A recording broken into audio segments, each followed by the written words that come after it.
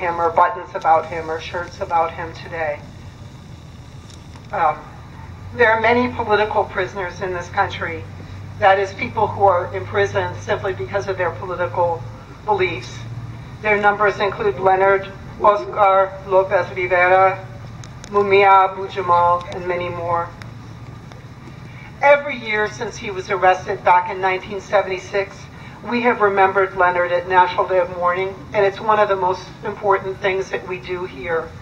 And he knows, he's sitting in a prison in Florida, but he knows and feels that we're here for him and that we're speaking about him and that someone will be reading his words to the crowd so that his voice will be heard, so that he will not be completely silenced behind the prison walls.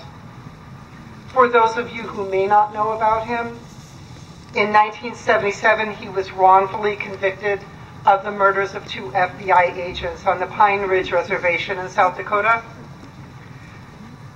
The government violated his constitutional rights, coerced witnesses, tampered with evidence, and in many other ways made sure that he was framed up and put in prison, and he had kept him there for almost 40 years now.